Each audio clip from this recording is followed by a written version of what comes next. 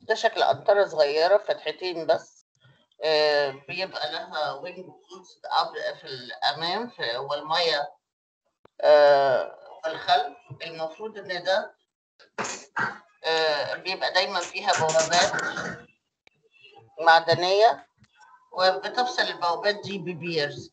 دي نموذج لقنطرة بسيطة جدا فتحتين. كل واحدة من دول بنسميهم vent هي زي الكباري بس بيبقى مقفولة بوابات يعني أنتوا خدتوا كباري السنة اللي فاتت. بدل ما بنسيب المايه ماشية براحتها تحت الكوبري لا إحنا بنحط بوابات وبنتحكم بقى في كمية التصرف اللي هتمشي والمنسوب حسب احتياجاتنا. آه، دايما أي ك- قناة أي كانال بيتحط على أولها.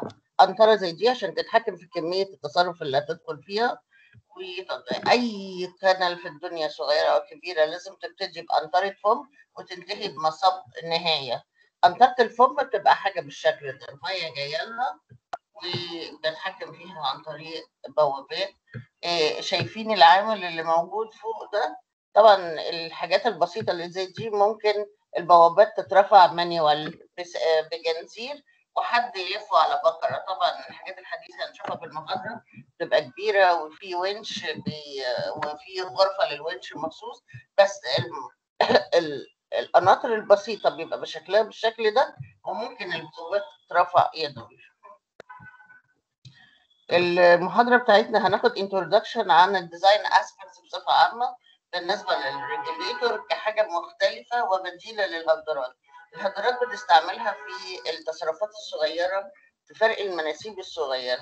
لما ببقى عايزة أعمل تحكم أكتر إيه، بحتاج أعمل آه، قناطر عشان أعمل فيها بوابات وأتحكم بدقه أكتر آه، في التصرفات والمناسيب. بعد ما نخلص المقدمة هندخل بقى في مراحل التصميم الهيدروليكي وأتمنى إن إحنا نقدر نخلصها النهاردة. التصميم الهيدروليكي بالنسبة لنا مهم جدا لأن التصميم الإنشائي زي القواعد اللي أنتم متعودين عليها آه، قطع موجود بنعمل عليه check بنشتغل plain concrete أو reinforced concrete حسب ما إحنا هنشوف أو هنشتغل مع بعض. إيه، بالقواعد بتاعة تصميم الخرسانة العادية. فما ما عندناش صعوبة في تصميم الأجزاء الخرسانية إلا في حالات التحميل بالنسبة للمية المية موجودة مش موجودة؟ عاملة عاملة hydro static pressure ولا مش عاملة؟ كل ده تأثير وجود المية عليها لكن كتصميم قواعد التصميم اللي أنتوا بتستعملوها في ديزاين الخرسانة أيوه. الصوت ملغوش يا دكتور بعد إذن حضرتك. ملغوش؟ ملغوش آه شوية.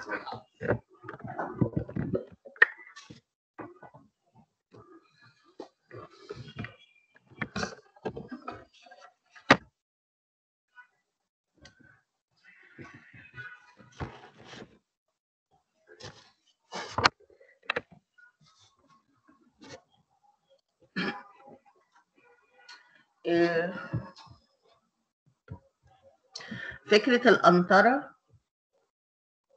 إن أنا بيبقى عندي مجرى مائي.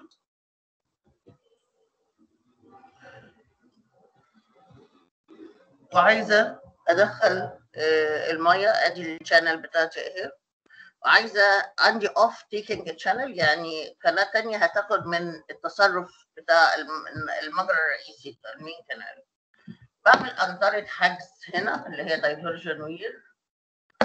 بعمل قنطرة حجز في الأمام عشان أتحكم في كمية بتحكم لي في المنسوب والتصرف عشان أقدر أتحكم في كمية المية والمناسيب اللي داخلة هنا.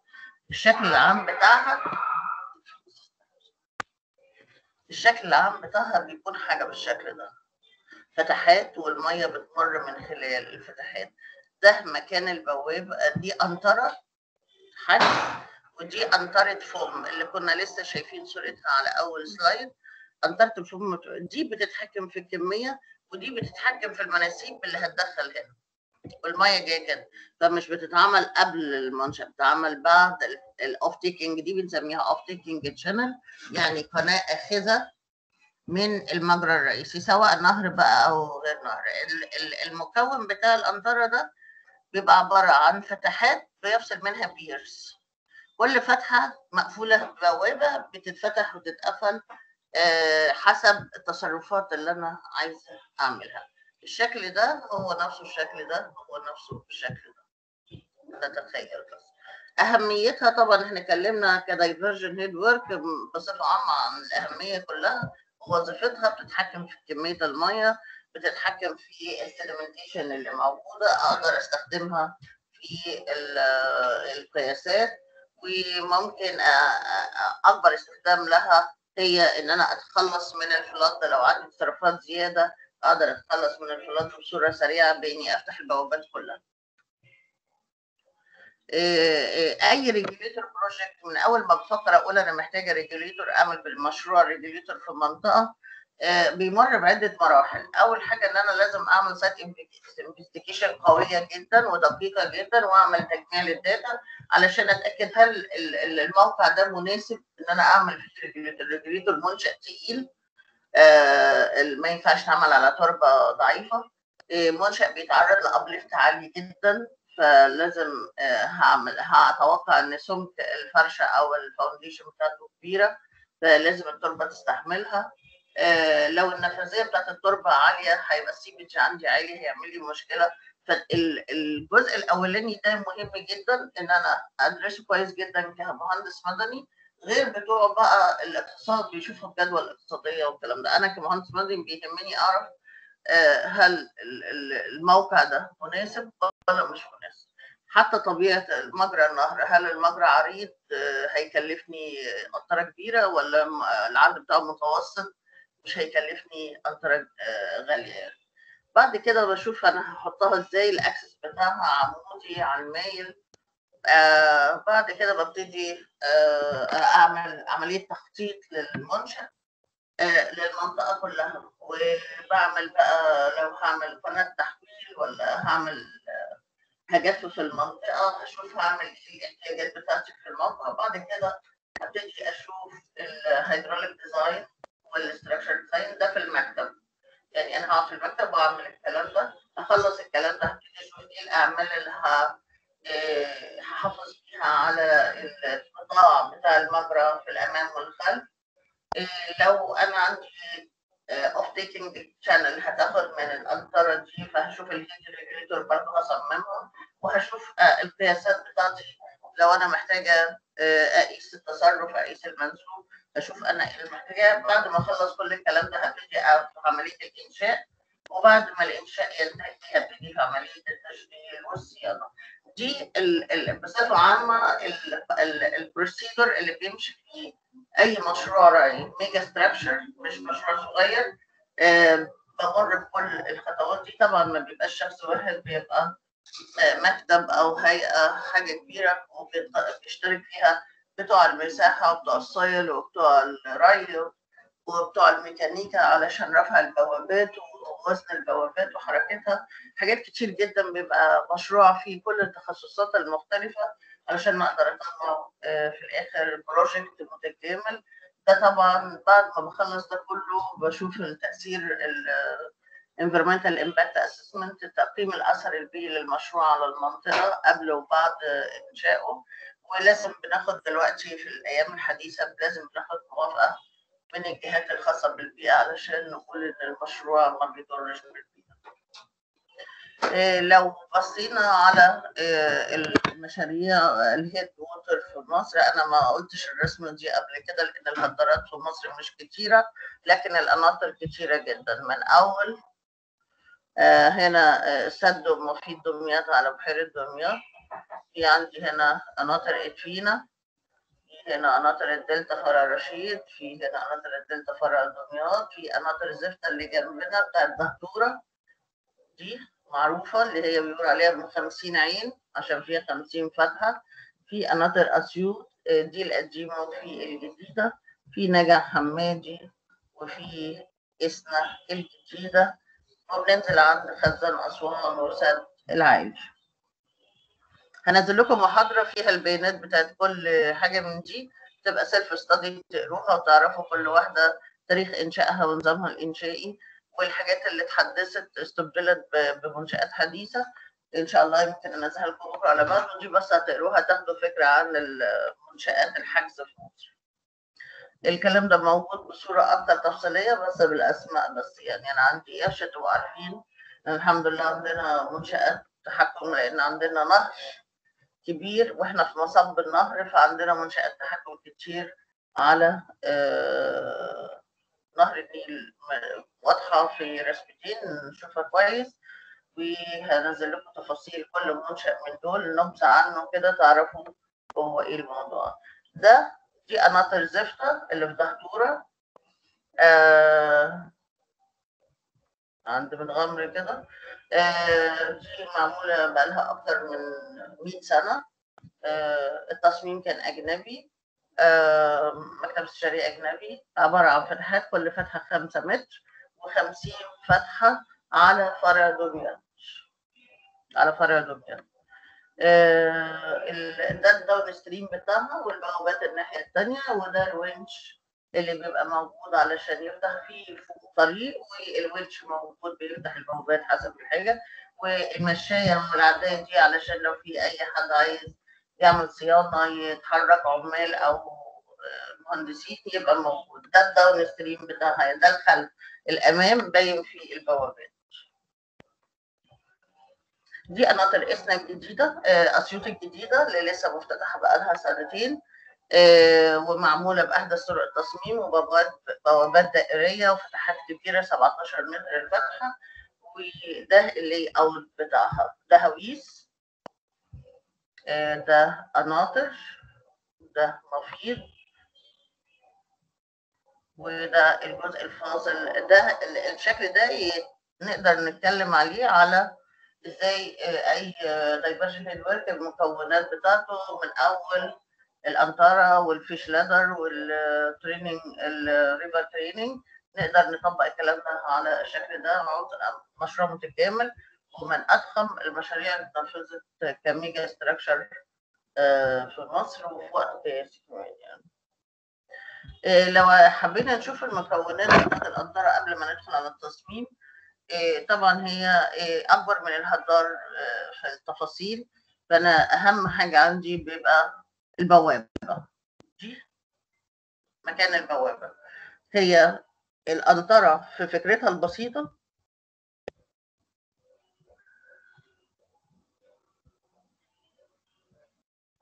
بتشتغل كده. يعني كل القنطرة عبارة عن بوابة. المية في ال upstream بمنسوب وتدخل في ال downstream بمنسوب تاني. ولحد ما ترجع منسوبها سواء ب hydraulic jump أو من غير hydraulic jump ده بيتم من خلال إيه؟ البوابة دي بتتثبت في pier ففكرة القنطرة بسيطة جدا أنا كان عندي الهدار المية بتمر من فوق القنطرة المية بتمر من تحت البوابة ببقى يعني فكرة ال regulator كلها أنا عندي بوابة بتمر المية من تحت طيب المية دي هتقف إزاي؟ ال regulator دي هتتثبت إزاي؟ بنيجي ده pier يعني بغلة وباجي أثبت هنا اعمل فتحة جروف أحط فيها البوابة بتاعتي واعمل لها هنا غرفة تحكم فوق علشان أقدر اتحكم فيها اللي بتحط فيها الونش أو بتحط فيها الجنازير اللي بتشد البوابة. دي يبقى بير وفي بوابة دي فكرة القنطره الحاجات التانية حاجات مكملة ليها بقى. طبعا دي بتبقى موجودة على فرشة من الخرسانة العادية أو الخرسانة المسلحة حسب التصميم بتاعي البير بيبقى بدايته ونهايته دائرية علشان يقلل الفواقد في المدخل والخلف آه بستفيد من وجود البيرز دي بإني أعمل طريق يوصل بين الجسرين اللي موجود فيهم القنطرة آه طريق كبير موجود. آه بيبقى عندي أعمال حماية زي ما قلنا موجودة في في الأمام والخلف عشان احمي الترعة أحمي ال bed بتاع الترعة من أي تأثير لسرعه المية أو ال scour ما يحصلش scour وإحنا الكلام ده خدنا قبل يعني آه، نوهنا عليه في الهدار فلازم أعمل حماية بال upstream وال downstream واضح إن أنا عندي في هنا أدمة وفي هنا أدمة وقلنا إيه فوائد الأدمات قبل كده. فده المكونات بصفة عامة بتقدر يعني طبعا الأعمال الترابية بقى عندي ال berm والطريق والكلام ده دي حاجات آه، معروفة. لكن أهم حاجة الاكسس ده اسمه الاكسس اللي هو بيمر بالمركز الب- ال- البوابة ده ال axis بتاعي وده ال pier ودي الفرشة ده الم- الرسمة المبسطة وده اللي بنشتغل عليه في ال design. الباقي مكملات لما نقول أعمل complete design بنعمل بقى الأعمال الحماية ومناسيب المية ومناسيب الترعة والطريق والكلام ده. لكن الأساس هي foundation لبشة آه، فرشة وفوقيها pier وال pier ده فيه مكان آه، آه، لحركة البوابه طبعا بيبقى في عندي wing wall في. في الأمام والخلف وبيبقى بيبقى عندي abutment على الجسرين في النهاية. وفي ال- الونش اللي بيشيل اسمه lifting device اللي هي آه، طريقة رفع ال- البوابات وعمل حماية. وال floor طبعا.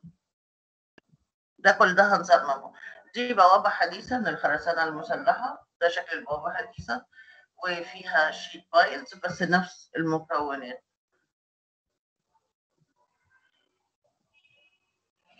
إيه، لما باجي أشوف مراحل تصميم ال ال ال ال regulator نفس الكلام ببتدي الأول أجمع ال data وبعدين أبدأ بال hydraulic design. لما يسهل معايا أدخل على ال structure design خلصت ال structure design بطبق عليه ال safety criteria أنا بيبقى عندي لما بحدد ال hydraulic design بيبقى لازم عندي elementary profile يعني بيبقى عندي شكل لجسم ال- القنطره من الأول. فلما بعمل structure design لو هي مش مسلحة خرسانه عادية بتأكد بس إن القطاعات دي safe بالنسبة لل- للمواصفات للأحداث الاحمال ولو هي مسلحة بشوف الحديد التسليحي المناسب لها وبصمم القطاع بتاعها.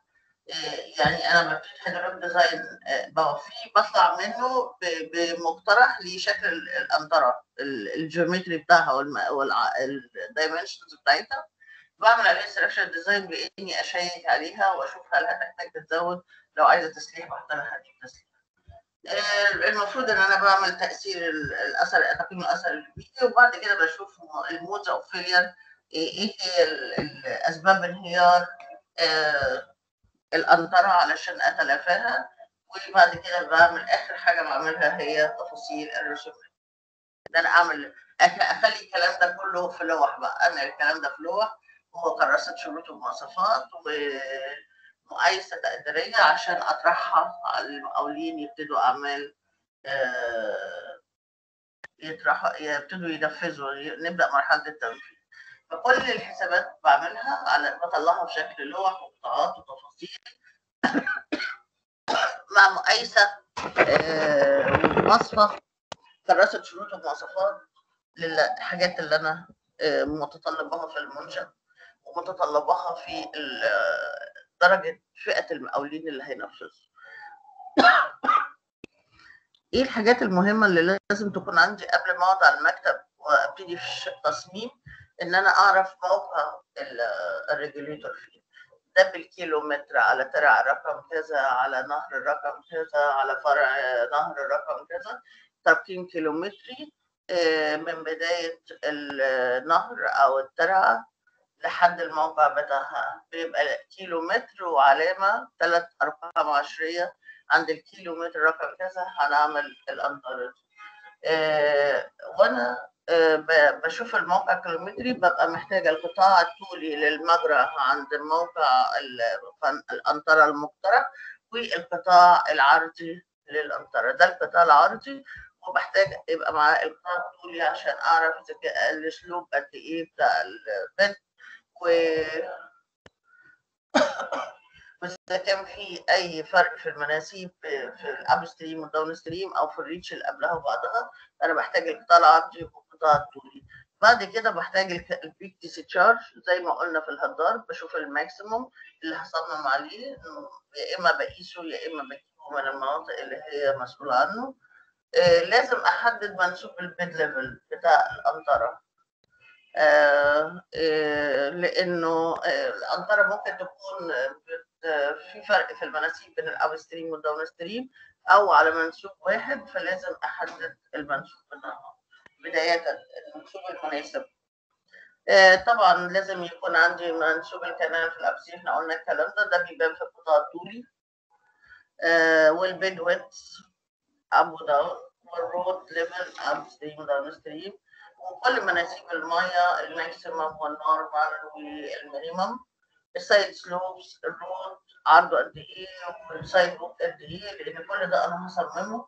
وال roads أنواع ممكن traffic road أو مشاة أو عربيات خفيفة كارو أو حاجات تتاخد من الزراعة لو منطقة زراعية. نوع التربه علشان الأحمال طبعا وال bearing capacity التربة. الكلام ده كله لازم يكون آه، طبعا بالإضافة إن لازم المنشأ المنطقة تكون خالية من أي آه، مناطق أثرية أو مناطق عسكرية أو كابلات كهرباء وكابلات آه، آه، مواسير آه، مية علشان ما يحصلش أي ديستراكشن طبعا في الجسور يعني آه، أي آه، لازم باخد موافقات كتير جهات كتير إنه المنشأ ده مش هيعمل آه، آه، آه، أي خسائر لأي حاجة تانية موجودة في المنطقة. يعني باخد موافقات كتير عسكرية وأثرية. و وخط كهرباء كل دول لازم اخد إنه المشروع ما فيش فيه عوائق تمنع إقامة منطقه المشروع. ما فيهاش أي عوائق تمنع إقامة المشروع. إيه، طبعا أنا المفروض بعد كده لما بعرف القطاع ببقى عايزة أوصل للقطاع ده نتكلم عليه. ببقى عايزة أحسب ال water levels والكلمات بتاعتها. ببقى آه، عندي ال pier اهو في أبسط أشكاله آه، والمفروض البوابه هنا. ببقى عايزه أعرف آه، في ال uplift أقصى head موجود علشان أحسب ال percolation وأحسب ال thickness زي ما عملنا قبل كده. بس المرة دي عندي pier مش هدار يعني استبدل الهدار بال weir بس ال weir بال pier بس نفس الخطوات اللي هنعملها في رسم diagram وحساب ال uplift ال hydraulic design بينقسم لجزئين surface water flow design و subsurface flow design زي ما حصل زي ما إحنا قلنا برضو في الكتير بالظبط. أنا عندي في مية ماشية من فوق ال foundation وفي مية ماشية من تحت ال foundation من فوق ال foundation عندي في back water curve في عندي heading up في عندي hydraulic jump في عندي energy losses في عندي scour كل ده موجود في ال upstream في ال surface flow في ال subsurface flow في عندي seepage في عندي percolation في عندي uplift وكل ده بيتحكم في ال apron ال thickness بتاعت ال apron وفي طولها. المسافة دي كلها وهحتاج sheet pile ولا مش هحتاج sheet pile كل الكلام ده بيبقى في ال subsurface flow فأنا لما أشتغل لازم يبقى آه، أوفي الاثنين دول. ال surface flow بيحتاج آه، آه، يتوفى في ال scour length بيحتاج يتوفى في ال energy losses ال subsurface flow بيحتاج يتوفى في سمك ال apron وبيحتاج يتوفى في ال percolation length إن هو لو أنا اللي فرضان مش كفاية أزود ادمه أو أزود sheet دي الحاجات اللي إحنا نتعرض لها. أنا اديتها حقها في ال pier فإن شاء الله مش هتبقى آه، فيها صعوبة بالنسبة لنا غير إن إحنا نفتكر مع بعض تصميم ال water way بالشكل ده اللي خدناه في الكباري في ثالثه هنرجع عليه بسرعة. ان أنا عندي آه، ال channel العادية بتبقى trapezoidal بالشكل ده والمعادلة بتاعتها آه، معادلة مانينج والتصرف بتاعها بيساوي ال A في V لو أنا آه، مش معطى قيمة التصرف أنا بحسب التصرف من خلال البيانات اللي معطاة بالنسبة لي. يعني أحيانا تبقى التصرف مش موجود لكن البيانات اللي أقدر أحسب منها التصرف موجودة زي ال high water level أقدر أحسب ال maximum discharge اللي ممكن يعدي بمعلومية القطاع بتاعي. آه آه لما في ال channel بير section الاريا بتساوي آه طبعا زي ما أنتم عارفين البي بتاعت الكنال في الدبس دبس في الداون ستريم زائد آه، الميول في الدي تربيع الدي هنا المستخدمة هي الدي داون ستريم من غير الهيدنج اوت لما بحاول أخلي في بنسمي المساحة بتاعت المية في الريجوليتور ده الووتر واي خلال الريجوليتور. عايزه أشوف ال- طبعا التصرف في ال regulator هو نفس التصرف في ال channel بس أنا عايزه أحول بقى ال- ال- ال area دي ل آه، بدل ما هي trapezoidal القطاع المائي لا هعملها فتحات. عددهم N وعرض الفتحه S وهي عمق المية. أنتوا خدتوا الكلام ده كده فاحنا هنراجع عليه بس بسرعة. أنا بس عايزة أأكد إنه إحنا كنا آه، بنتعامل مع الهدار التصرف اللي ماشي فوق الهدار. مستطيلة العرض بتاعها ال الطول بتاعها ال وال depth بتاعها H الفرق هنا إن أنا بتعامل مع القناطر آه، آه، ال- ال- ال depth بتاع الطول بتاعها وهو اللي هو آه، S ع- طول البو- الفتحة والاتش عندي هي الهيد المؤثر على البوابة وارتفاع البوابة ممكن يكون a أو a dash يعني بنتعامل معاها ك orifice ده الفرق الجوهري بين معادلات التصرف اللي استعملناها. بنعتبر إن ال gate orifice لكن الهدار هدار notch زي ما flow notch زي ما كنا بناخد آه قبل كده. إحنا خدنا ال orifice وال notches وال weirs في ميكانيكا الموائع. هنا بنطبقهم آه، في ال weirs بنطبق معادلة الهدار المستطيل وفي ال gates بنطبق معادلة ال orifice المستطيلة اللي طول آه، طول ال- الفتحة بتاعتها هي ال S والارتفاع والارتفاع بتاعها المؤثر على ال orifice طبعا المية بتأثر على ال orifice ال H اللي هي الضاغطة اللي بتخلي المية تتحرك. فوق البوابة وارتفاع البوابة H دكتور أيوه. وإيه ال orifice نعم. إيه ال orifice ده؟ فتحة فتحة. هوريها لكم دلوقتي حالا. وحضرتك يا دكتور في في جهاز تاني مفتوح جنب حضرتك؟ لا بس جاي- ممكن أكون فاتحة آه، آه، آه، شاشتين. ما هو ده اللي عامل ال- الصوت بيرد عندنا في سيسات صوت طب هشوف كده إذا كانت الشاشتين يعطوها ولا لأ.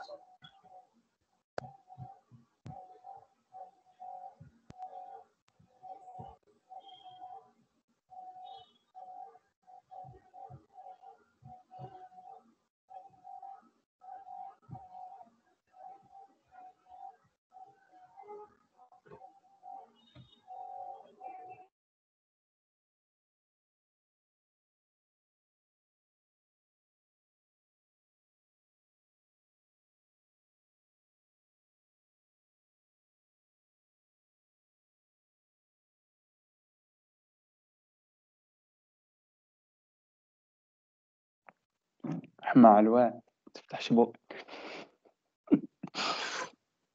أنا مش فاهم إيه علاقة الشاشة بصدى الصوت يا الوان الله يا عم صلوا على النبي. صلوا على النبي. الله يبارك لكم لو مفتوح من الله يبارك لكم صلوا على النبي.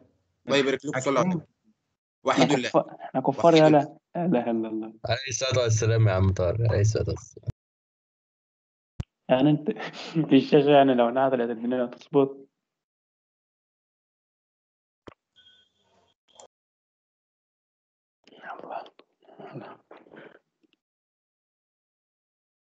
خليك ساكت انت يا عادل اسكت.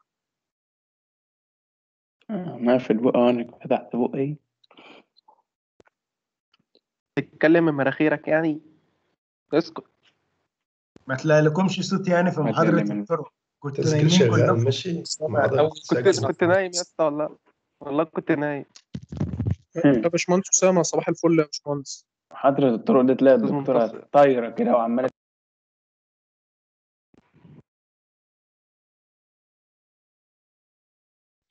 صباح الفل عليكم كلكم. صباح الفل يا دكتور. صباح النور يا دكتور. كده الصوت ظبط خالص يا دكتور. أنا قفلت وفتحت من أول وجديد خالص. كده الصوت تمام. قفلت وفتحت من تقريبا كان في شاشتين مفتوحين في نفس الوقت.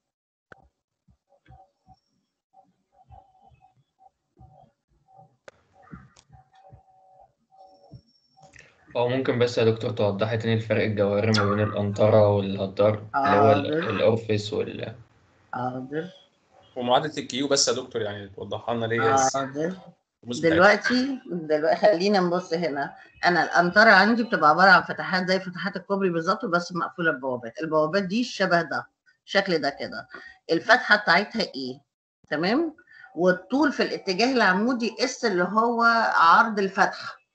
نفترض أنا عندي فتحة مثلا ثلاث فتحات كل واحدة 5 متر والمسافة إيه دي نص متر مثلا يبقى الارفس بتاعتي عبارة عن آه، فتحة مستطيلة ارتفاعها نص متر وطولها آه، خمسة متر وبتطلع المية بين وبين كل فتحة وفتحة بير بتجيب المية من الاتجاه ده للاتجاه ده. كده واضحة؟ ال- اللي بيخلي المية تتحرك في الفتحات عموما هو الضغط اللي موجود فوق حافة الفتحة ال H ده اللي بيخلي المية تتحرك هنا. دي اسمها معادلة ال orifice أو ال orifice. لا في الهدار كان عندنا المية بتتحرك من فوق الهدار اللي هي حركة الهدارات المية من خلال notches مستطيلة أو مثلثة فكنا بنشتغل على المستطيلة. الحركة فوق الهدار من هنا لها معادلة والحركة تحت البوابة من هنا. دي معادلات ال orifice الهدار معادلات الهدار. دي الفكرة ال- الأساسية خلينا نرجع تاني.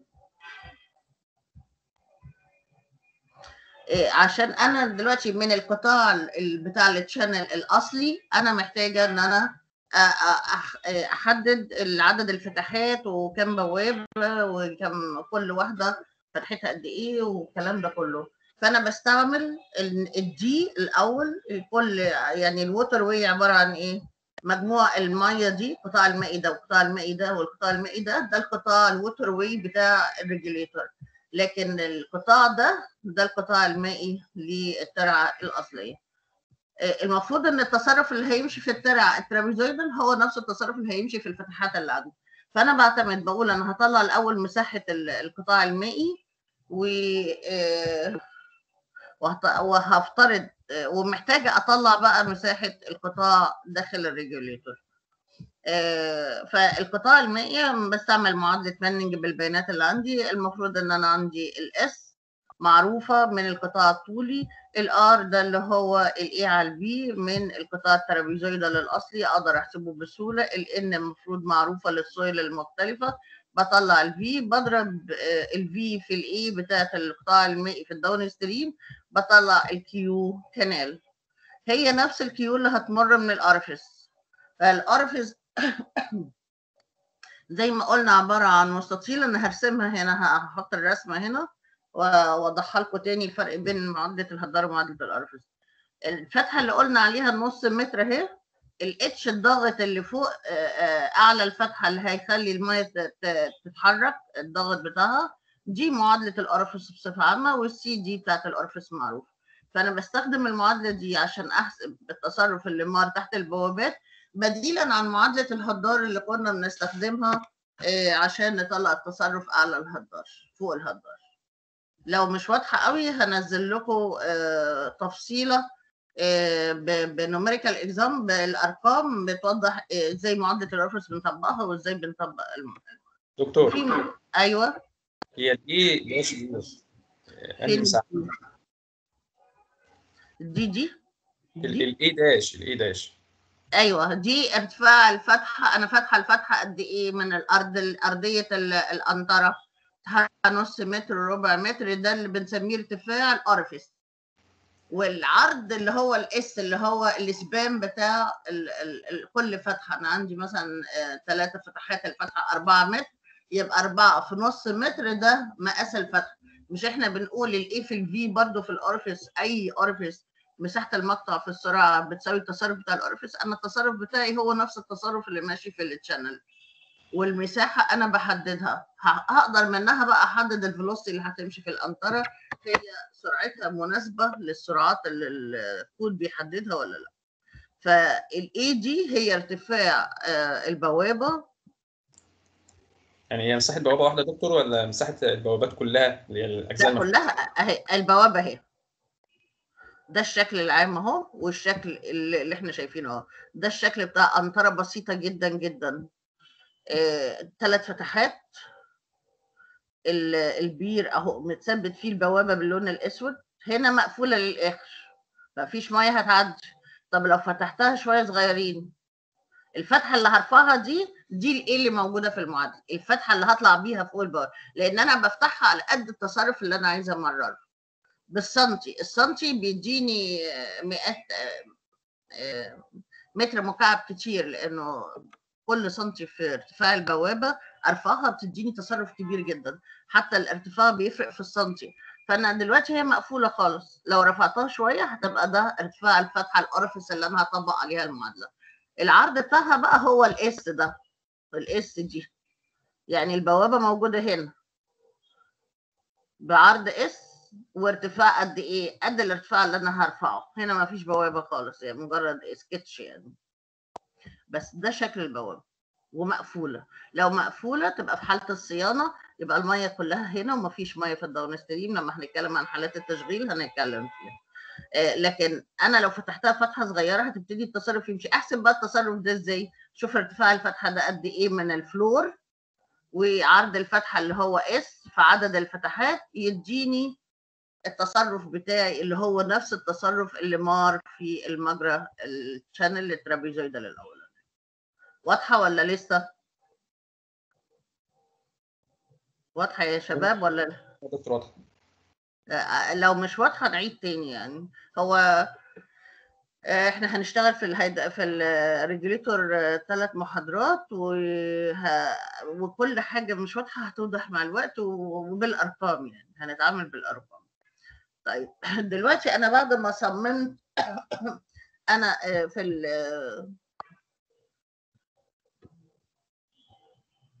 في. هنا قلت ان التصرف بيساوي التصرف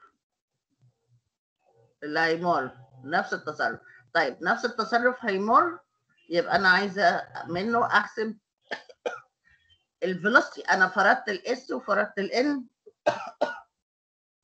وال D معروفه من الأول طب هل أنا آه، ليا مطلق الحريه إني أختار السرعة زي ما أنا عايزة وأختار ال area زي ما عايزة يعني أخليها فتحه واحدة وصغيرة والسرعة تزيد جدا. لأ آه، برضو الكود بيحكمني إنه ال A ما تقلش عن 60% من ال A وفي معادلة تانية هاخدها بنطبق فيها إنه الفرق بين الاثنين على ال A الكلية ما تقلش عن 50% ال velocity في ال gate الواحدة ما تبقى من 2 ل 3 ال velocity في ال channel عشان ال losses ما تبقاش كبيرة. وال V في ال gate تبقى في نفس الوقت من 1 متر ل 2 متر.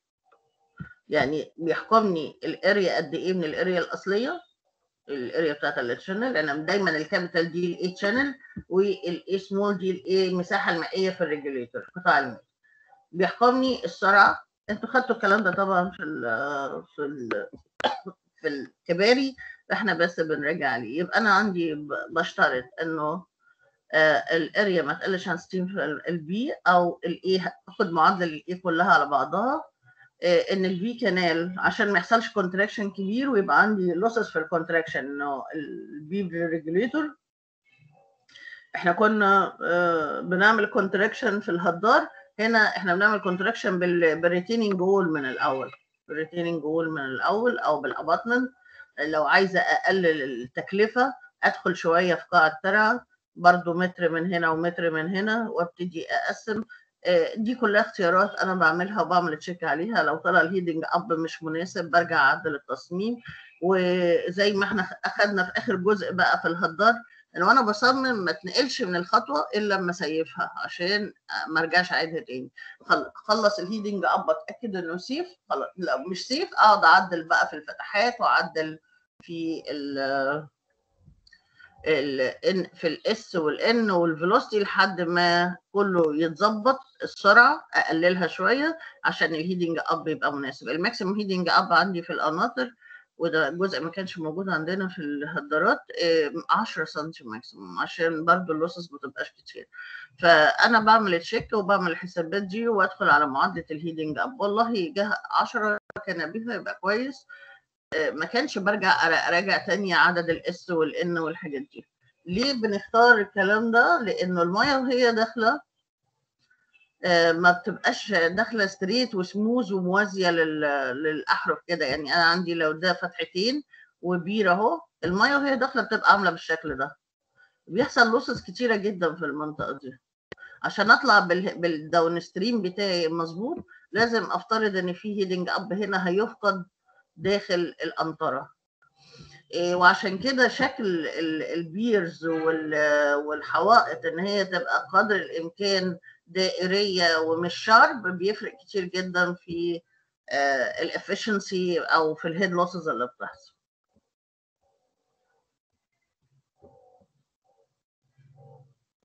دكتور؟ إيه، أيوه. يبقى عايز حضرتك هو مكان ال أو مكان ال- ال- البوابه بالظبط من طول البير له اشتراط ولا لازم أحطه في الأول لا وخلاص لا طبعا له اشتراط وده بيبقى آه. فيه فتحات رئيسية للبوابات وفي فتحات جانبية للإمرجنسي وللصيانة لما أحب أقفل خالص. لا طبعا ده هي دي أساس م- موقع فتحات البوابات هي أساس تصميم طول البير. يعني إحنا لما نيجي نصمم بقى طول البير ونختاره هنلاقي إن موقع الفتحة ده بال- البداية بتاع التصميم. اللي قبل كده ده بعتبره زيادة ما بحسبهوش في الخرسانة وفي التحميل. بحسب من أول بس الفتحات هي دي اللي بتشتغل معايا. كبير يعني. لا طبعا ليها ليها مواصفات طبعا. لو بصينا إيه تأثير فتحة البوابة هي الفتحة اللي كنا بنتكلم عليها لو الفتحة دي إيه؟ والعرض في الاتجاه ال- ده اس اللي هو الاسبان عرض الفتحة فالمية هتدخل بالشكل ده. دي بتشتغل ك orifice orifice يعني آه، فتحة دائرية فتحة مستطيلة بتخرج منها المية. الفتحة دي لها قطاع ده ارتفاعه والطول بتاعه هو آه، عرض الفتحة. وبيأثر عليه الضغط ده ده اللي بيخلي المية تدخل في الاتجاه ده. دي علاقة الكلام ده بقى بال specific energy طبعا أنتوا اساتذه بقى واخدين لسه hydraulics السنة اللي فاتت. آه ده بيفرق معانا. إزاي بيفرق؟ ال specific energy معايا. آه مع ال critical flow إزاي بيفرق في حركة ال- ال pool آه، ده شكل مبسط لمعادلة الاتزان الكلي أو ال total energy في ال regulator القنطرة وإيه اللي بيحصل أثناء حدوث ال hydraulic jump إيه اللي بيحصل معايا في ال specific energy ال delta E دي بتحصل إزاي إزاي ال head loss بيحصل. دي معادلة برنولي ودي المعادلة بطلع ال Y critical بتاعتي علشان أنا محتاجة لو هدرس ال hydraulic jump محتاجة أعرف ال conjugate depths Y واحد Y اتنين ومحتاجة ال Y critical علشان هو أساسي آه، في حساب ال energy loss وفي رسم ال hydraulic jump نفسه لو نلاحظ أنا عندي نوعين من ال hydraulic jump بس أنا مش هدخل في التفاصيل.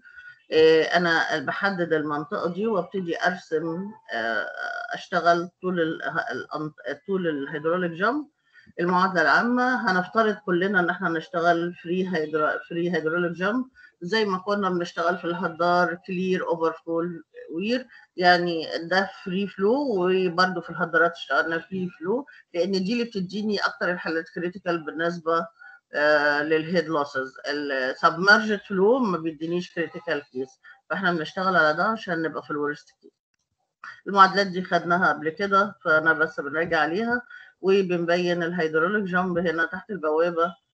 إزاي بيتحول الكلام ده ل delta E إزاي بيحصل تبديد للطاقة؟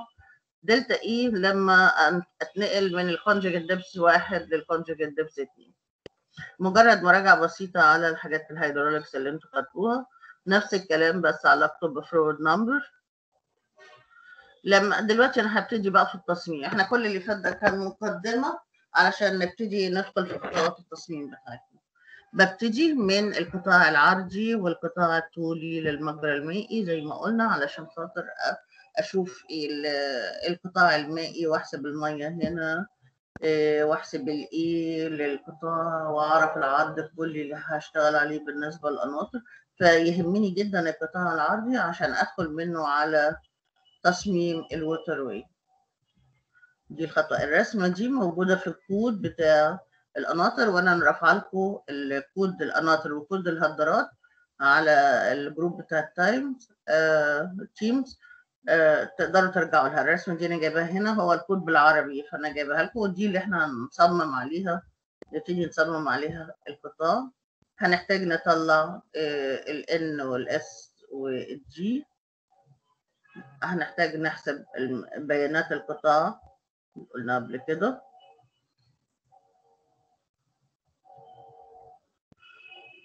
بعد ما حددت ال N وال S وال G بال trial وال error آه هقول إن ال Q regulator بتساوي ال Q channel يبقى ال V regulator بتساوي كام؟ وال A regulator بتساوي إيه أقدر أعرف ال A وال V وأقارن كل واحدة بالحدود اللي إحنا اتكلمنا عليها. ادي ال V gate إحنا دلوقتي دخلنا كأن إحنا بنصمم خطوة بخطوة. البيانات دي بتبقى معروفة عندي. وادي حدود ال V بعد ما طلعتها. بجيب ال V gate من اسم ال discharge على ال area gate اللي أنا اخترتها. N في S في D بقدر أحدد.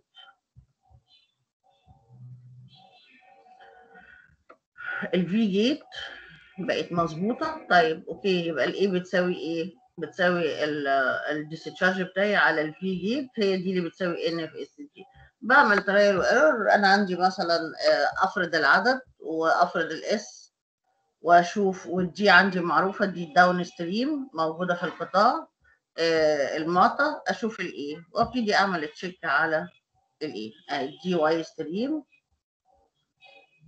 trial و error لحد ما اختار S مناسبة وبزيادة شوية يعني لو زودت المساحة بحيث ال velocity قلت خير وبركة بس ما زودش ال velocity لأن أنا ظبطتها إنها تكون آه، في range معين. لو زودت عنها ممكن تبقى آه، تعملي مشاكل في ال heading up تخلي ال heading up عندي ما يسيرش. فانا بعمل trial و error أو أخد اثنين ثلاثة طبعا ده بيتوقف. أنا عندي مثلا آه 12 متر ال B مثلا. خلينا نبص هنا. لو أنا عندي دي مثلا آه، 15 متر. هقول هدخل متر هنا ومتر هنا بقى عندي 13 آه، البير من واحد لواحد ونص العرض. هشوف أنا هعمل كام بير وأبتدي أختار ال S بتاعتي. كل ما كان رقم يعني آه، على الأقل الأقرب 10 3 و2 من 10 مش 3 و31 من 100 مثلا. بختار ال S دي وبختار ال T وبشوف عدد الفتحات.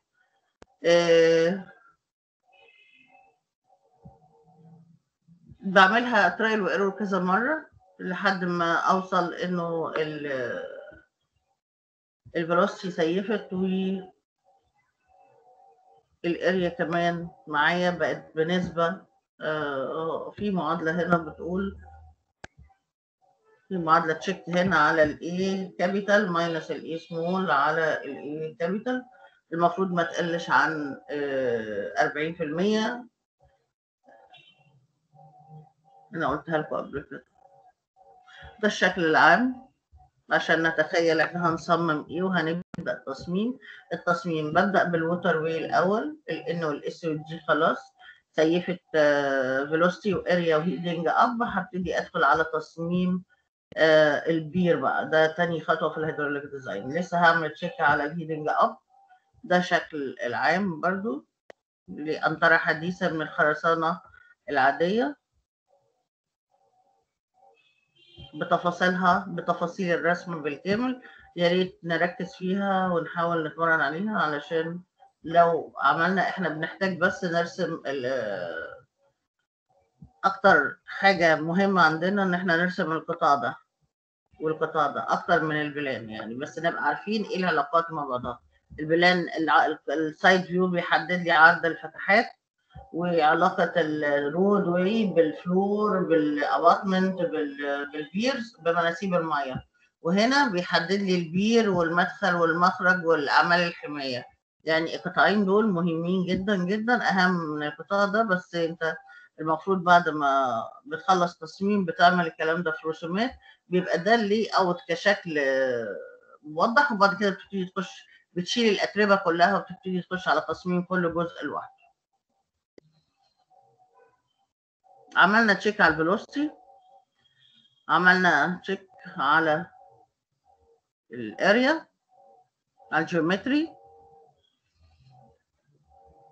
هنا الفرق أهو ال S في حالة الخرسانة العادية S على 3 ل 4 ال S اللي هي عرض الفتحة لو هي خرسانة مسلحة بتبقى من S على 7 ل 10 إيه، بنعمل check على آه، آه، المسا... دي تبقى أقل من ال B و check على ال area اللي أنا قلت لكم عليها. تبقى ال A canal ناقص ال A regulator على ال A canal تبقى من 40 ل 50% كل دي أنا لسه بظبط في السرعة بظبط في الاريا وبظبط في الان والاس والجي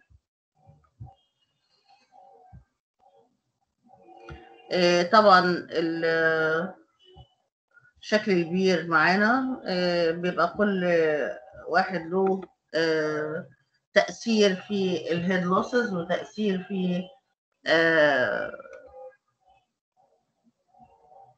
الهيدنج اب بس يهمني إن أنا أعرف ال- آه، الزم- الزميل اللي كان بيسأل على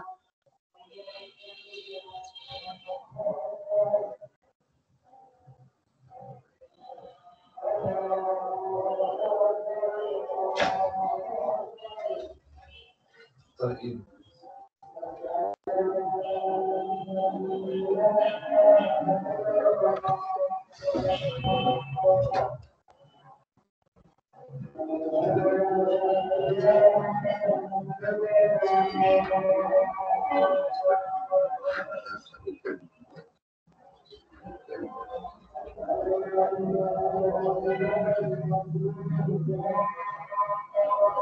Thank you. طيب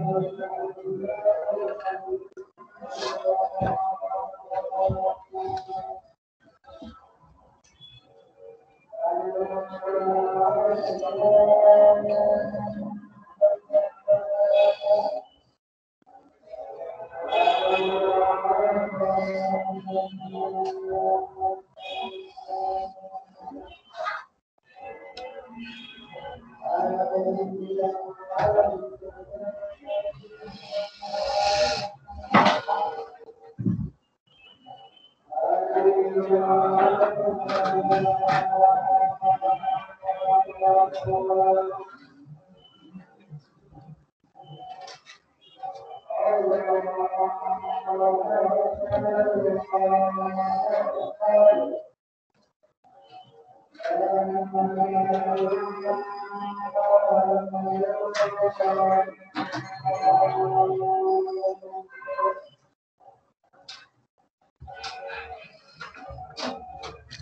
الزميل اللي كان بيسأل على grooves قد إيه ال groove الرئيسية؟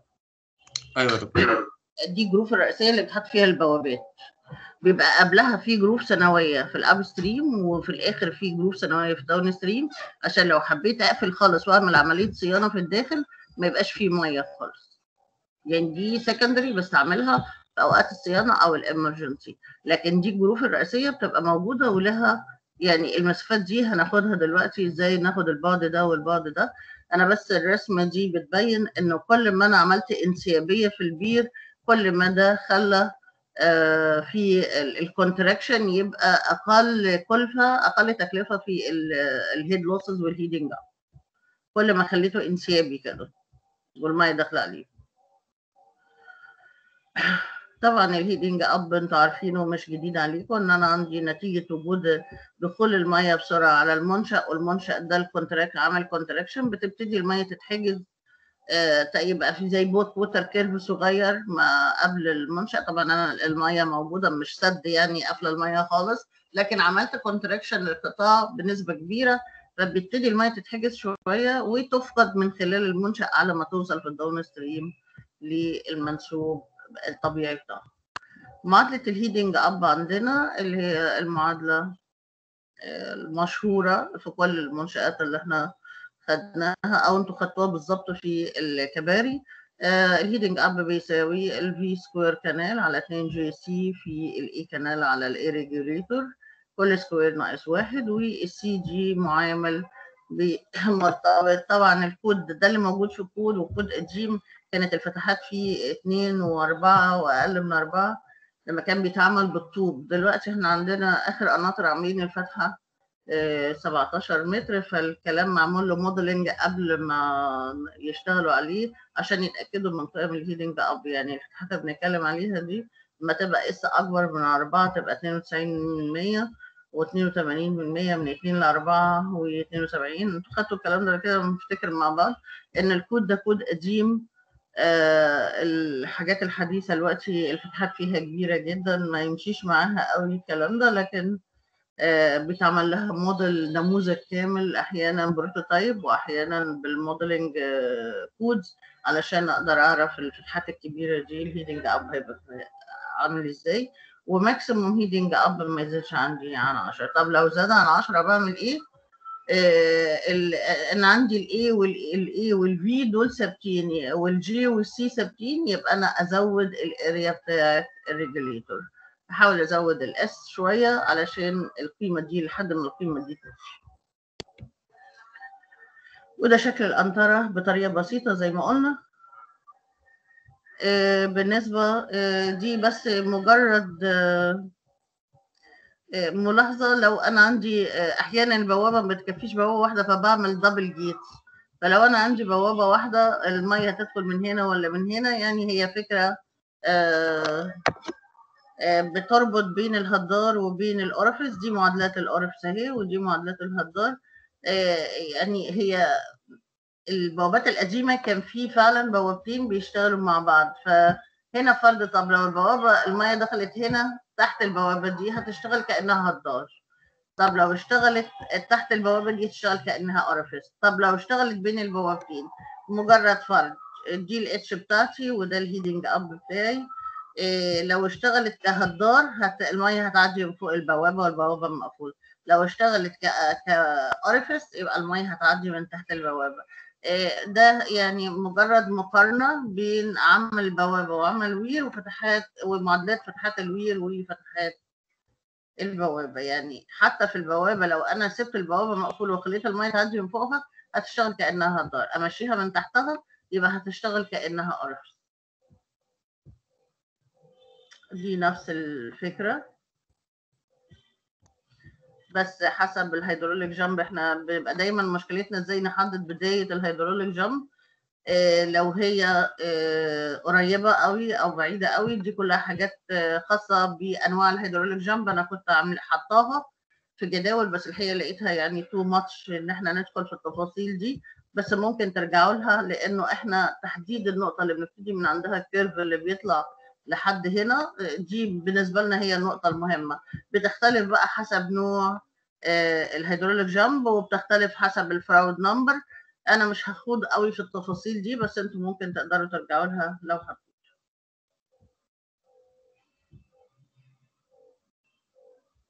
نوع ال flow هو داخل هنا بيبقى subcritical flow لأن ال depth بيبقى كبير. بيرجع يجي هنا يبقى supercritical لحد ما يخلص ال hydraulic jump يرجع subcritical تاني عند ال normal depth ده عشان بس نفتكر لو المية داخلة تحت البوابة وهي داخلة بتبقى subcritical بعد كده بتبقى supercritical لحد ما تخلص ال hydraulic jump ب depth صغير جدا وبيمر بال critical depth وبعد كده بيوصل لل normal depth تاني بيبقى ارجع subcritical تاني.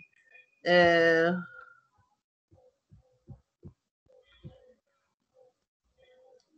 طبعا إحنا خدنا المعادلات بتاعة آه، ال hydraulic jump. هي فارقة مش فارقة معايا المعادلات إن هي مع تحت بوابة أو بعد هدار لأن أنا بتعامل مع الجزء ده من النقطة دي اللي هي نقطة الانقلاب اللي هيبتدي ال curve يطلع ب M 3 وبعدين تتكون وهنا في M واحد علشان إحنا بنحسب الكلام ده وبنرسمه مش هتفرق هي نفس المعادلات بس المرة دي ال flow جاي من تحت. البوابة بينزل لتحت شوية وبعدين يطلع. الوضع الحتة دي بس اللي ما كانتش موجودة في الهدار. كنا بننزل من فوق الهدار نخش على ال hydraulic jump على طول. هنا. في نقطة conflict كده ال flow بينزل لتحت وبعدين يبتدي يعمل يغير اتجاهه ويطلع لفوق ب M 3 لحد ما يوصل ل Y واحد وبعدين يعمل hydraulic jump ويوصل ل Y 2 اللي هي ال normal depth. المعادلات هي المعادلات إنما بس الشكل بتاع ال flow هو اللي اختلف. لما أجي أحسب ال delta E عندي آه، الشكل العادي أهو ال Y C بالأحمر ال Y naught ب M واحد الجزء ده لحد هنا ما وصلت في Y واحد و Y اتنين. النقطة ال conflict هنا مش باينة بس أنا كنت المفروض أنا عايزة أحسب طول ال hydraulic jump عشان أحدد منها ال scour حقيقي طبقا للبيانات بتاعة ال hydraulic jump مش بالطريقة البسيطة اللي حسبناها في الهدار اللي هي آه، ستة طول المسافة ال scour بالمعادلة. أنا هحسبه بالمعادلة وأحسبه برضو ب M 3 وطول ال hydraulic jump عشان أعرف ال scour length قد إيه وأحسب ال energy loss بتاعتي قد إيه. رغم إن ال hydraulic jump أنا كاتباها كده بس هو إح- إحنا برضو هنحسبها بالظبط من أول النقطة دي لحد ما تخلص ال hydraulic jump exactly بمعادلات ال hydraulics عشان يبقى تطبيق آه، فعلي. إذا أنت بتستعمل معادلات ال hydraulic jump في إيه. يعني أكتر تطبيق لها عملي في آه، في في الري هو خلف البوابات. أكتر من خلف الهدرات خلف البوابات دايما الفتحة بتبقى صغيرة فبتجبر ال flow إن هو يبقى super critical عشان يطلع لل super critical لازم يعمل hydraulic jump. ف آه، ده تطبيق عملي. هناخده إزاي؟ بعد كده نشوف إذا كنا آه، تحبوا تشتغلوه بدقة تحبوا تشتغلوه بالتبسيط. لكن أنا آه، واجب عليا إن أنا أعرفك إزاي لو هتحسبها بالظبط تحسبها إزاي باستخدام المعادلات. أكيد أنت مش بتاخد أي معادلات من باب الواجهة العلمية لأ عشان تستعملها بعد كده في التطبيق آه، بتبقى عندي مشكلة ال- ال piping أنا كنت اتكلمت عليها قبل كده وقلنا هناخدها بالتفصيل لو أنا عندي قنطرة زي دي بالشكل ده. فتعرضها لل piping آه، أو تعرض ال- ال- التربة للفوران نتيجة ال exit gradient العالي الفرق بين هنا وبين هنا بيبقى كبير جدا في حالة القناطر أكتر كمان من الهدرات ففي.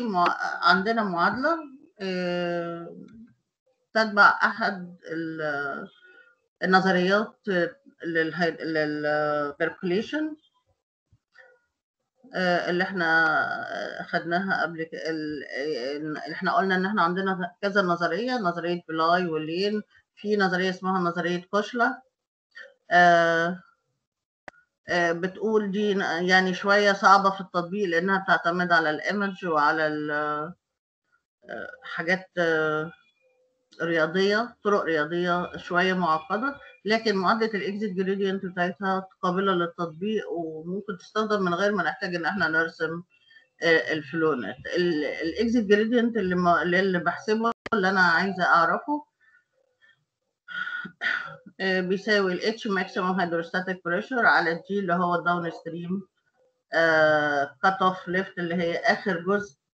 آه، عندي لما بعمل قدمة إحنا قلنا بنعمل قدمة أو sheet pile في الآخر علشان خاطر ال exit gradient فالارتفاع بتاعها سواء sheet pile أو cut off بيبقى هو ده ال G بتاعي.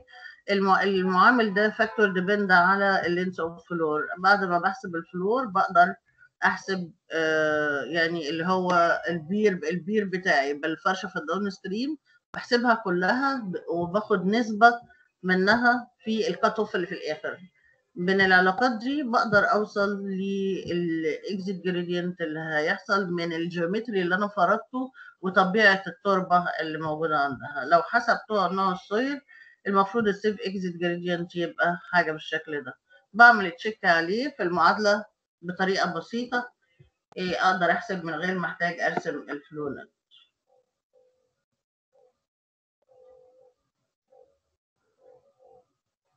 ده استكمال لنفس الكلام. و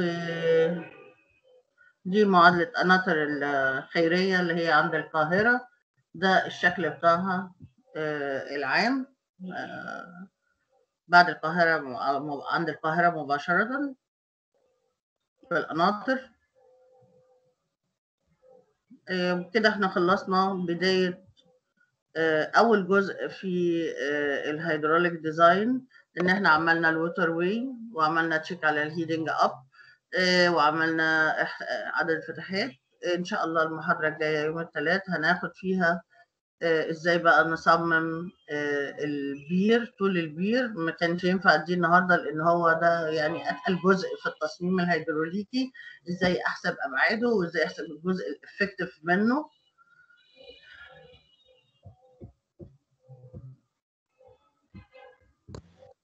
يبقى دكتور بعد إذنك.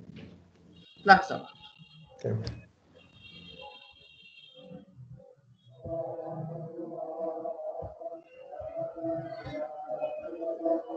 آه. إزاي أصمم ال pier؟ إزاي أختار طوله؟ إيه، إزاي أختار المسافة قبله؟ وإزاي أختار المسافة بعده في ال floor؟ آه، دي آه، يعني أتقل جزء عندنا في ال hydraulic design وأتقل جزء في ال structure design لما باجي أصمم ال- ال pier ك structure design بيبقى عندي حالات تحميل كتيرة جدا. لو المية هنا موجودة وهنا مش موجودة لو المية موجودة في فتحه ومش موجودة في فتحه آه، فهو أكتر جزء عندنا في القنطرة. ما كانش موجود معانا في الهدرات تقيل في ال hydraulic design وتقيل في ال structure design خصوصا لو في تسليح وأقدر أشوف القطاع بتاعي أنا محتاجة تسليح قد إيه في الشكل ده. كمان الشكل اللي هو فيه فتحات ده مش بيبقى الشكل الحقيقي اللي بشتغل عليه في القطاع التصميمي. أنا في أجزاء بهملها وبيبقى عندي فيه طول فعال هو ده اللي بيشتغل معايا كقطاع آه، في آه، الحسابات ال structure design وفي ال hydraulic design كل ده شغال معايا من الأول للآخر الطول ده كله بيشتغل معايا. فأنا بحدد آه، إزاي أحدد الطول وبعد ما أحدد الطول إزاي أحدد ال apron اللي تحته عشان أبتدي أعمل حسابات ال percolation وال uplift والكلام ده كله. يعني إحنا خدنا نعتبر خلصنا الجزء بتاع ال surface flow بال hydraulic jump آه، ما عدا ال scour length ما حسبناهوش ما اديناش المعادلة بتاعته. آه، يعني يعتبر كده الجزء بتاع ال surface flow خلص. لسه هندخل بقى في ال subsurface flow وده الجزء الاتقل ده بيبتدي بإني أحدد طول البير اللي هياخد اللي هيشيل البوابة. وبناء على طول البير ده بحدد طول ال apron في ال upstream وال downstream.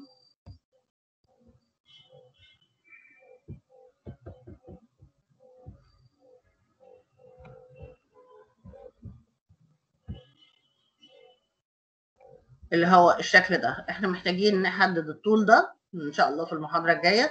محتاجين نحدد الطول ده والطول ده والطول ده عشان أبدأ أعمل بقى ال hydraulic design بتاعي في ال subsurface أشوف حالة ال maximum head بيديني uplift pressure و percolation وأحسب ال percolation قد إيه هشوف هحتاج sheet pile ولا مش هحتاج. طبعا ده هيبقى ال scour بتاعي بس ال scour من بعد ال hydraulic jump ال hydraulic jump هتتكون في المنطقة دي. فأنا بشوف ال scour بتاعتي قد إيه وعلاقتها بطول الفرشة. ده شوية محتاج تركيز. أنت لسه واخد المعلومات بتاعت القنطرة بتحاول تدخلها مخك بعد ما مخك اتملى بمعلومات الهدار البسيطة. فأنا مش راضية ما رضيتش أتقل وأدخل في الجزء ده لأنه عايز تركيز جدا وتبقى آه، مصحصح كده وشارب قهوة و فايق لأنه المحاضرة الجاية هي أساس تصميم القنطرة اللي هو الجزء ده بال uplift بتاعه بال sheet pile بكل كلام أتمنى تكون آه، آه، قدرت أدي محاضرة مخففة آه، أدخل بيها كده أزنق المعلومات بتاعت ال regulator في وسط آه، معلومات الهدار إن شاء الله هناخد آه، حاجات بالأرقام المرة الجاية هنمشي بالأرقام يعني عشان تبقى حاسس بالأرقام إحنا لو فرضنا كذا هيبقى إيه وتقدر تحس safe ولا unsafe هنبتدي ناخد زي الحل كأنه example ماشي معانا. وطبعا هنزل لكم solved example بس آه، لما نخلص الشرح كله إن شاء الله. آه، ال sheet نزل. آه، نزلت المحاضرة وال sheet. أول جزء في أول مطلوب اللي هو اختيار حساب ال waterway وده سهل بس إن شاء الله يوم السبت هنعمل quiz online في ال section جايز ياخد وقت ال section كله. على ما يتظبط لأن إحنا أول مرة نستخدم ال quiz ال online. لو اتبقى وقت هنشرح الجزء الأولاني اللي إحنا خدناه النهارده في ال sheet وال sheet هيكمل معانا للمحاضرة الجاية بإذن الله. آه، أنا عاملة ال quiz تدريب لكم على ال midterm علشان الرهبة تروح وعلشان تحسب الوقت وتعرف تمشي إيدك بسرعة في الحسابات. والحتة اللي وقع منك في ال quiz آه، ترجع تأكد عليها مش عقاب مني ولا تجدير ولا حاجة. لأ يعني علشان ما, ما تبقاش داخل الامتحان وانت مخضوض انت تبقى داخل وانت عارف الأسئلة هتيجي شكلها إيه الوقت هتتحكم فيه إزاي هتظبط الورقة بتاعتك إزاي فهي مجرد تدريب وهتاخد عليه درجات يعني هو تدريب وهتاخد عليه درجات. آه، أي أسئلة؟ شكرا لحضرتك. هو ال midterm لحد الهدار بس يا دكتور؟ نعم. ال midterm لحد الهدار بس؟ آه، أنتوا امتحانكم إمتى؟ ال- ال mid ال midterm يوم إيه؟ الأسبوع اللي بعد الجاي بس مش عارف يوم الأسبوع اللي بعد الجاي يا دكتور نعم؟ الأسبوع اللي الأسبوع بعد اللي بعد الجاي. هنبدأ ال midterm من يوم 5 12 والله يا- لو إحنا خلصنا ال hydraulic design ممكن نجيب ال hydraulic design. لو ما خلصناش هكتفي بال weir أنا مش هقدركم والله أنا يعني متعاطفه معاكم هو مش هنلحق ناخد ال hydraulic design في ال في ال- ال section. مش هنلحق في السكاشن يا دكتور. نعم؟ مش هنلحق ناخده في ال section خدنا ال hydraulic design في ال- في ال section ما أنا بعد المحاضرة الجاية إن شاء الله يوم الثلاث أقدر أحدد بالظبط هكون عرفت الدنيا في السكاشن بتاعت يوم السبت مشيت إزاي وهقدر أحدد بالظبط ال midterm يعني. خلاص. المهم تطمنوني بعد ال quiz يعني تقولوا لي ال quiz عملته كويس المستوى كويس لحقته. اعمل حسابك إنك لازم تبقى جاهز بال calculator بتاعك لأنك هتحتاج حسابات ما بحبش الرسم بالإيد بال freehand لازم الرسم يبقى بمسطرة. أه وقلم رصاص محدش يرسم لي بالجاف مرن نفسك إنك أنت تشتغل بسرعة. يعني أنا ما بجيبش أفكار بس بجيب الامتحان آه، يعني ما يخليكش تتلفت كده ولا تضيع وقتك كده ولا تقعد تدور على الاستيكه وقعت فين ولا القلم الجاف كان فين الكلام ده كله. حاجتك تكون جاهزة آه، جنبك ومستعد وقاري آه، آه، كويس وتبقى سريع في الإجابة. هو ال quiz يا دكتور تدريب امتحان بس ال midterm هيبقى مدته قد إيه عندكم؟ ساعة؟ ساعة آه. يا دكتور. ساعه طيب أنا عاملة quiz ساعة عشان تتمرن إزاي تقدر لو الطلبات كتيرة تظبط وقتك وتوزع وقتك على ال- على الساعة. دكتور. أيوه. ال quiz ده تدريب بس ال quiz- مفيش درجات ولا إيه؟ لا عليه ده, ده عليه 10 درجات. ال quiz 10 درجات؟ أيوه. وعندنا quiz تاني بعد ما نخلص القناطر إن شاء الله. أنا مش هتوصى بيكم في ال quizzات هعمل quizzين بس. quiz بعد القناطر و quiz عشان برضو تمرين على القناطر بقى الامتحان ال final. آه و quiz على الهدارات إحنا ده كويز الهدرات